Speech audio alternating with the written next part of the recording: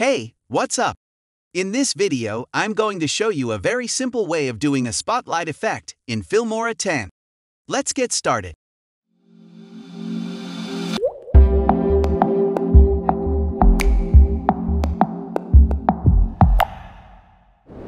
So I have Filmora 10 opened here. Drag and drop the video onto the project timeline. Now go to the part of your video where you want the spotlight effect. Make a cut there to separate it. Now right-click on it and select Copy. Next, lock your video layer from left side. And right-click on the empty track here and select Paste.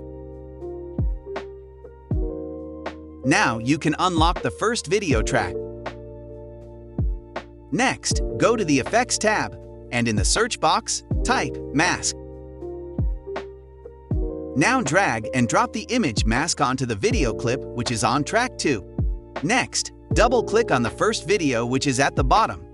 Click on Animation tab, then select Customize. Make sure playhead is at the very start of your sliced footage. Now click on Add button to add an empty keyframe.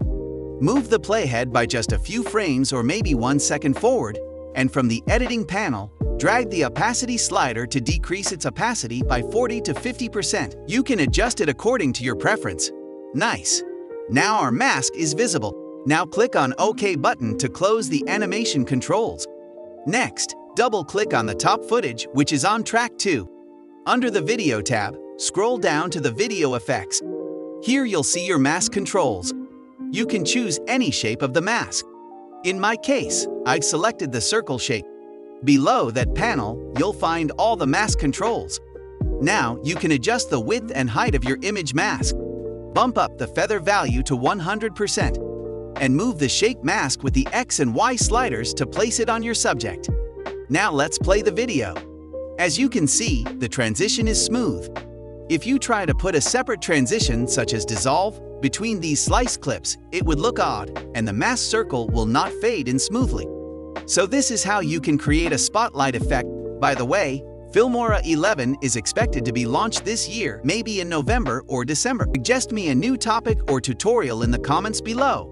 I'd love to hear your feedback. And please subscribe if you're new here, and I'll catch you guys in the next one. Peace.